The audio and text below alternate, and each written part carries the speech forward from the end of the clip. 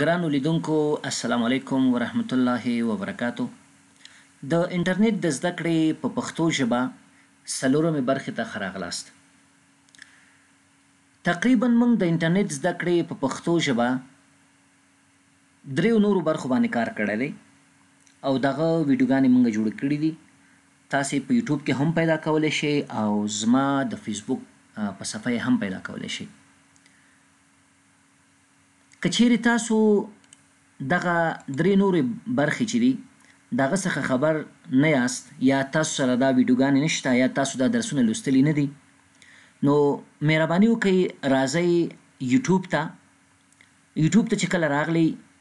په یوټیوب کی ولیکی په دی سرچ کی محمد اسلام سیفزاده دا زما د چینل نوم دی چه کله تاسو دا ولیکه سرچ باندی کلیک کړئ تاسو ته دغسی جوابونه وباسی یوټیوب نو دغه اولین جواب چه دی چه په نوم د محمد اسلام سیفزاده دی او دلته زما عکس هم ورسره دی دا زما اصلی چینل دی کله چه تاسو په دی باندی کلیک وکړئ تاسو زما چینل ته داخلیږی دلته به تاسو راشی پلی لیست ته پلی لیست ته چی راغلی تاسو ټول پروګرامونه چی ما د کمپیوټر په برخه کی جوړ کړی دی که هغه افیس پروګرامونه دی که د انټرنیټ په برخه کی دی که د اکاونټینګ په برخه کی دی یا نور داسی پروګرامونه دی هغه ټول دلته ما اپلوډ کړی که په بازار کی پیدا هم نشی خو دلته شته نو وګوری تاسو دغه دری برخی نوری چی موږ د انټرنیټ جوړی کړی دی په پښتو ژبه اولی د جیمیل په باره کی دی په پښتو ژبه مکمل تقریبا درویشت دانې ویډیوګانې دي دا کلیک کړئ کتلی هم شئ انلاین ډاونلوډ کولای هم شئ تاسو انلاین په همدې شکل ورپسې مونږ پنځلس نورې ویډیوګانې جوړ کړي د آوټلوک یا هاټ میل په باره کې نو دا به تاسو وګورئ د هغه نه وروسته مونږ تقریبا څلور نورې ویډیوګانې جوړ کړي دي د دې په باره کې چې څنګه تاسو کولای شئ د انټرنیټ څخه تاسو خپل ټرننګ مټیریل یا درسي مواد، ویډیوګانې، سافټویر او داسې نور شیان د انټرنیټ څخه تاسو ډاونلوډ کړئ. نو که چیرې تاسو دا ویډیوګانې نه یي کتلي نو زه تاسو ته دا وایم چې اول راځئ دا ویډیوګانې وګورئ، دا هم چې خلاص کړئ بیا راځئ هغه نه وروسته د فیسبوک برخې ته. ځکه فیسبوک نه مخکې تاسو باید په دې پوه شئ چې څنګه ایمیل جوړیږي، هغه په جیمیل کې اوسي او که په آوټلوک کې اوسي او که په هاټمیل کې اوسي څنګه د ایمیل په واسطه باندې مونږ کولی شو خلکو سره ارتباط ونیسو خلکو ته خپل سي وي ولیږو خالي بستونو ته اپلای وکړو همداسې نور مسایل نو دا چې ګوري زما چینل دی نو تاسو دې سینه کولی شئ مختلف پروګرامونه انلاین وګورئ او ځان ته یې ډاونلوډ کړئ په هر صورت دا چې نن زموږ د انټرنیټ د زده کړې څلورمه برخه ده او څلورمه برخه کې موږ د فیسبوک په باره کې خبرې کوو نو فیسبوک مربوطه څومره خبرې چې دي ان شاء الله هغه به موږ ټول دلته کور کوو خصوصا زیات فوکس زما په هغه تخنیکي بخشونو باندې دی چې تاسو څنګه کولی شئ خپل د فیسبوک امنیت یا سکیورټي قوي کړئ او همداسې نور مسایل چې روزمره خلک ورسره په مشکلاتو کې مخامخ دي لکه زیاتره کسان تاسو ګورئ چې یو خبر نه دی یو بل څوک په عکس کې ټاک کوي یا مثلا یو کس غواړي چې ماته څوک فرند ریکوست ونه لیږي همداسې نور ټیکنیکل مسایل نو زه کوشش کوم چې ان شاء الله دغه ټول مسایل چې د فیسبوک مربوطه دي دا ټول مسایل تاسو ته په دې کې کور کوم خو دا چې نن زمونږ د فیسبوک د درس لومړی یا اوله ورځ ده نو دې نه مخکې چې موږ په فیسبوک باندې عملي کار شروع کړو باید تاسو د فیسبوک په باره کې یو لنډ معلومات ولرئ چې فیسبوک څه شی دی، څه لپاره استعمالیږي، د چا د چا له خوا ایجاد شوی دی، په کوم کال کې ایجاد شوی دی. نو دې لپاره زه څه کوم دا ګوګل کروم خلاصوم دلته ما یو بل ټیب خلاص کړی دی دلته ما ګوګل خلاص کړو په ګوګل کې مو ولیکه What is Facebook نو د فیسبوک په باره کې ماته مختلف معلومات راکړو. دا وګورئ داسې یو شارټ غوندې معلومات یې دلته ماته راکړي فیسبوک چې دی دا وایي یو امریکایي سوشل میډیا ویب سایټ دی یا دلته یې لیکلي دي فیسبوک از ا سوشل نیټورکینګ سایټ دا یو اجتماعي ویب سایټ دی چې د دې ویب سایټ په واسطه باندې تاسو کولی شئ د دنیا هر ملک سره د دنیا د هر ملک د یو کس د یو شخص د یو فرد سره تاسو ارتباط وساتئ او د هغوی سره وصل شئ. د فیسبوک په واسطه باندې تاسو کولی شئ خپل افکار، خپل معلومات، خپل نظریات د دنیا د نورو خلکو سره تاسو شریک کړئ. ځکه دې ته ویل کیږي Facebook is a social networking site. فیسبوک نن سبا دومره مخکې تللی چې تاسو ته د تلویزیون نه مثلا که تاسو په افغانستان کې وکلی وګورئ طلوع نیوز دی مونږ سره اریانا نیوز دی د دې نه هم تاسو ته مخکې معلومات رسوي یعنې که چیرې یو حادثه کیږي یو واقعه کیږي د تلویزیون نه د د نور میډیا نه چې دی تاسو ته زر فیسبوک معلومات درکوي یا تاسو د فیسبوک په واسطه باندې زر خبریږئ. نو فیسبوک چې دی دا یو سوشل نیټورکینګ سایټ دی د دې په واسطه باندې تاسو کولی شئ د دنیا د هر کونج سره تاسو په ارتباط کې شئ او خپل معلومات، افکار، نظریات د خلکو سره شریک کړئ. فیسبوک چې دی دا یو امریکن سوشل میډیا ده یعنې دا ویب سایټ چې دی د امریکایانو لخوا جوړ شوی دی. د دې اصلي فاونډران چې دي د فیسبوک هغه پنځه کسه دي چې اول یې مارک زاکربرګ دی، د هغه نه وروسته انډریو دی او همداسې درې نور کسان دي ورسره. فعلاً رئیس د یا سي او د فیسبوک چې دی هغه مارک زاکربرګ نومیږي. فیسبوک په کال دوه زره او څلور د جنوري د فبروري کال دوه زره څلور کې منځ ته راغلی یعنې د دغه پنځه کسانو په واسطه باندې په کال دوه زره څلور فبروري میاشت کې منځ ته راغلی دی. مرکزی دفتر د فیسبوک چې دی هغه په یونایټ سټیټ کلفورنیا کې دی که چیرې تاسو په مپ په انټرنیټ کې دا کتل غواړی په دی باندې رایټ کلیک کړئ اوپن لینک ان د نیو ټیب کلیک کړئ تاسو ته حتی نقشه مکمل معلومات درکوي په دوه زره او شلم کال کې د جون دوه زره شلم کال کې چې کومه سروې شوې د فېسبوک د کارمندانو په باره کې تقریباً په دغه کال او په دغه میاشت کې د فېسبوک د کارمندانو تعداد دوه پنځوس زره او پنځه سوه څلور دېرش نفرو ته رسېدلی دی نو دا چې تاسو ګورئ دا یو شارټ انفارمیشن دی د فېسبوک په باره کې که څوک تاسو نه پښتنه کوي فېسبوک څه شی دی فېسبوک دا یو سوشل نېټورکینګ سایټ دی البته امریکن سوشل نېټورکینګ سایټ مرکزي دفتر یې په یونایټ سټېټ کلفورنیا کې دی سویلي رئیس چې دی د ده مارک زاکربرګ نومیږي او دا د پنځه کسانو په واسطه باندې ایجاد شوی دی دا ویب سایت او په کوم کال کې دا منځ ته راغلی د فبروري دوه زره او څلورم کال کې دا فاونډ شوی یا ایجاد شوی دی په دوه زره او شلم کې چې کومه سروې شوې د جون میاشت دوه زره شلم کال کې تقریبا د فیسبوک د کارمندانو تعداد دوه پنځوس زره او پنځه سوه څلور دېرش نفرو ته رسیږي یا رسیدلی دی نو دا غه شارټ انفارمیشن دی د فیسبوک په باره کي کله چي دا معلومات تاسو په ذهن کي کیناستو یا تاسو سره دا معلومات وو اوس که تاسو فیسبوک استعمالوي څه خبره نشته ده حد اقل تاسو معلومات لري چي فیسبوک څه شی دی څه لپاره استعمالیږي نو دا وو داسي یو خلص معلومات د فیسبوک په باره کي. نو که چیرې تاسو غواړئ چې فیسبوک ته داخل شئ، په فیسبوک کې کار وکړئ، د فیسبوک د طریق نه خپلوانو سره، دوستانو سره، د دنیا د نورو خلکو سره په ارتباط کې شئ، اولین کار چې تاسو کوئ په فیسبوک کې باید تاسو ځانته ادرس جوړ کړئ. د مثال په طور باندې که چیرې تاسو غواړئ د تلیفون د طریق نه که هغه هر یو مخابراتي شبکه خپلوانو سره دوستانو سره په ارتباط کې شي خبرې وکړي نو تاسو سره باید سیم کارت وسی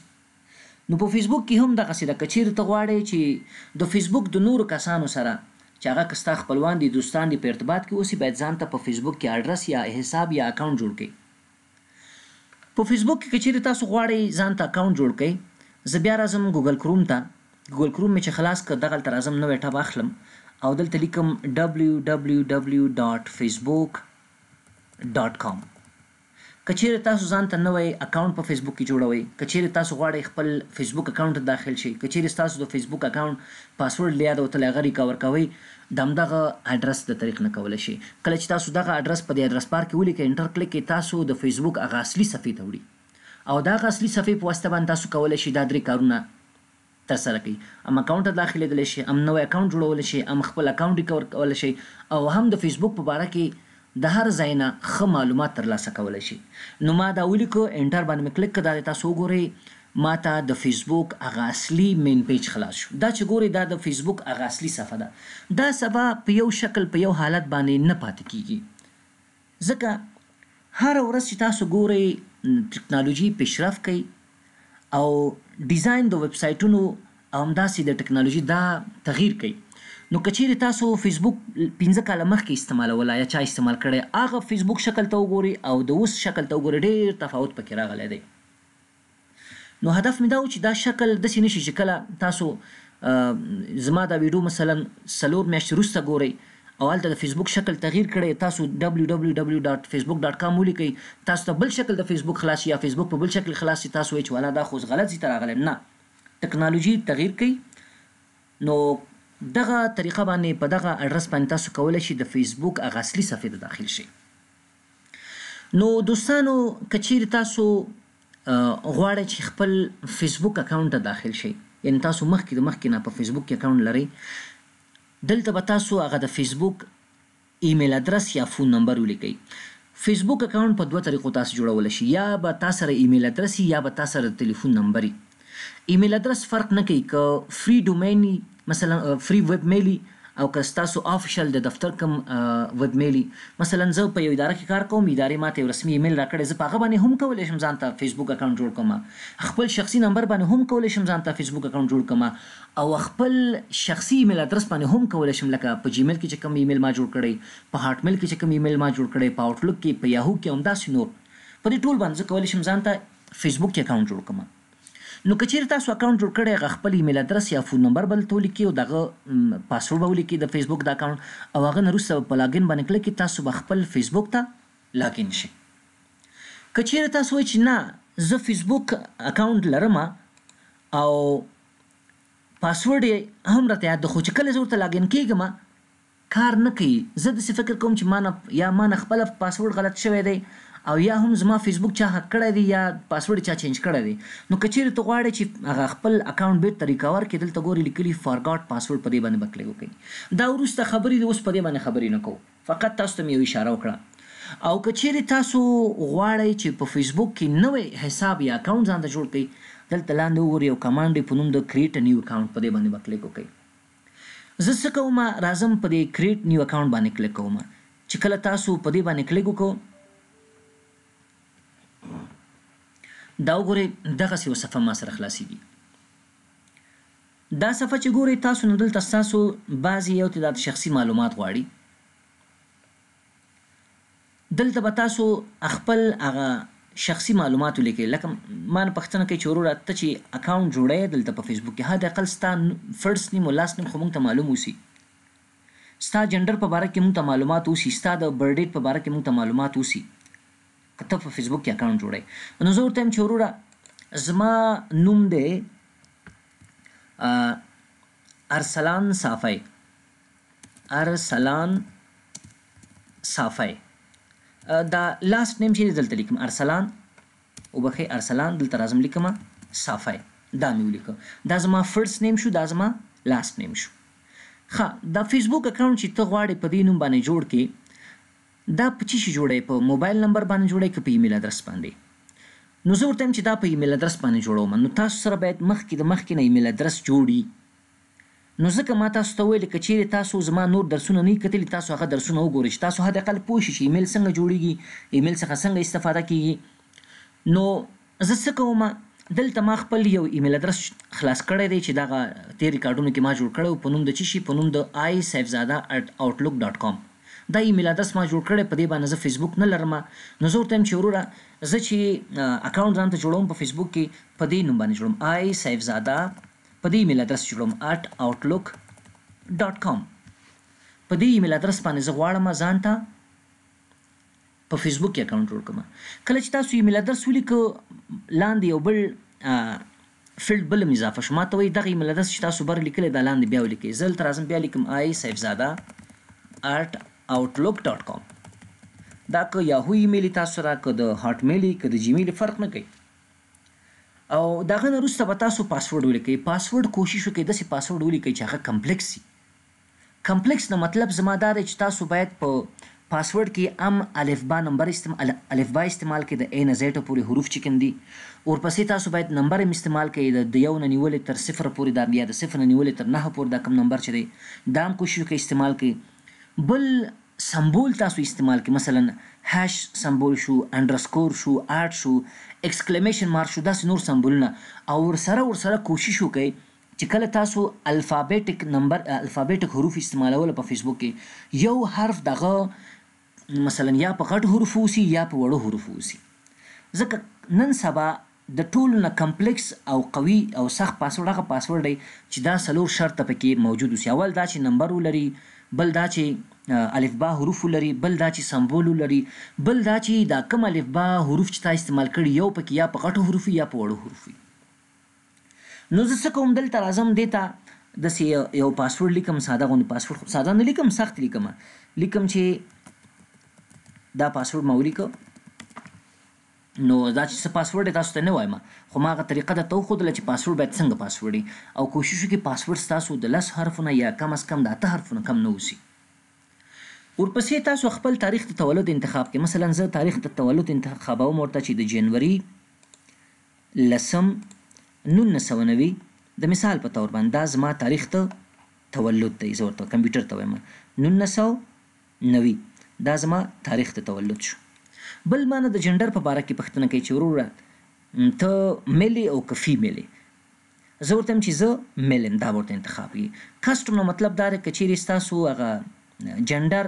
مشخص نه یی معلوم نه یی کنه نو تاسو هغه دځی نه خپله بعضی نور اپشن ورکی هغه هم انتخابولی شی مثلا شی